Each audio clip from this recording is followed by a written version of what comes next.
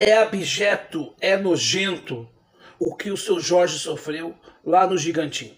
Nas dependências do Gigantinho, nas dependências do complexo Beira Rio, né, que pertencem né, ao Esporte Clube Internacional. Lamentavelmente, mais uma cena de racismo no Rio Grande do Sul e em Porto Alegre.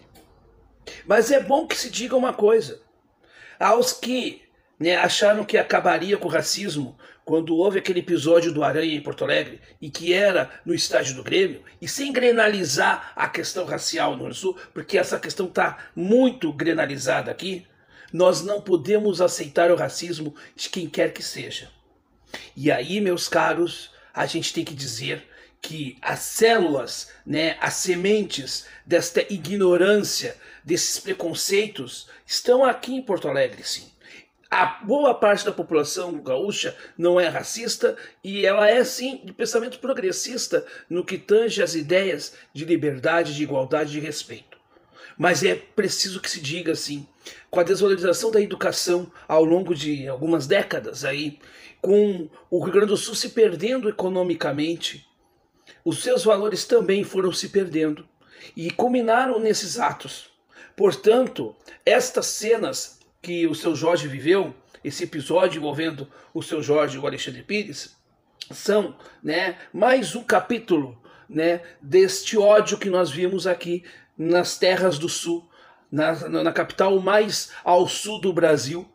Por quê? Porque, infelizmente, nós temos sim o ódio sendo nutrido.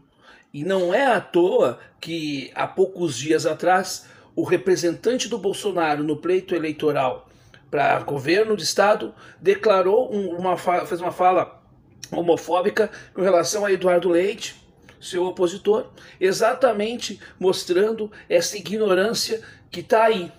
Só que essa ignorância não pode ser, né, e ela não pode falar em nome de todos nós gaúchos. E no meu caso, que eu tenho muito orgulho de ser porto-alegrense, né, eu posso dizer que eu, como gaúcho e porto-alegrense, como brasileiro, não coaduno com esse tipo de ato, porque eu tenho nojo e tem que ter punição aos detratores.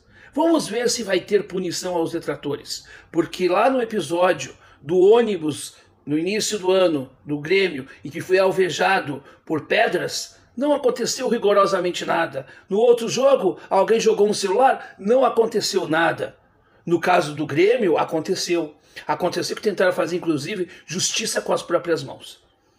Então que a gente crie essa ira contra esses que também estavam nas dependências do internacional. Que não seja grenalizado a situação, que não seja essa coisa, porque se não foi na, dependência do Grêmio, então, né, porque o Grêmio é, é, é racista e o internacional, todo mundo não é racista.